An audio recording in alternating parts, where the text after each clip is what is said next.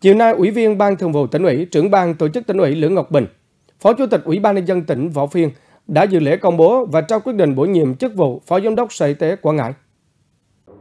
Lãnh đạo Sở Nội vụ đã công bố quyết định số 797 của Chủ tịch Ủy ban nhân dân tỉnh Quảng Ngãi về việc ông Nguyễn Hoàng Hải thôi kiêm giữ chức vụ Phó Giám đốc Bệnh viện Đa khoa tỉnh kể từ ngày 22 tháng 6 năm 2022 để phân công công tác khác. Công bố quyết định số 798 của Chủ tịch Ủy ban nhân dân tỉnh về việc tiếp nhận ông Nguyễn Hoàng Hải,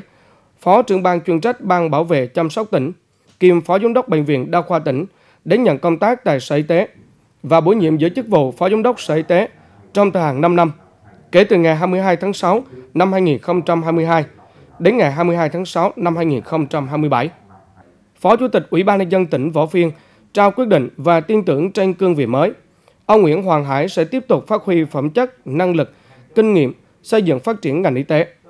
Trong giai đoạn này, toàn ngành cần nỗ lực hơn nữa trong công tác chăm sóc sức khỏe nhân dân, tập trung kiểm soát tốt dịch bệnh, không để dịch bùng phát trở lại. Chú trọng đến các quy trình đấu thầu, mua sắm thuốc, vật tư y tế, đảm bảo công tác khám chữa bệnh cho người dân trong tỉnh. Không được vì bất kỳ lý do gì mà thiếu thuốc phục vụ điều trị.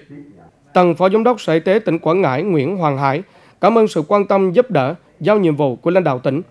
Trên cương vị công tác mới là vinh dự và cũng là trách nhiệm rất lớn, nên bản thân sẽ nỗ lực hơn để hoàn thành nhiệm vụ.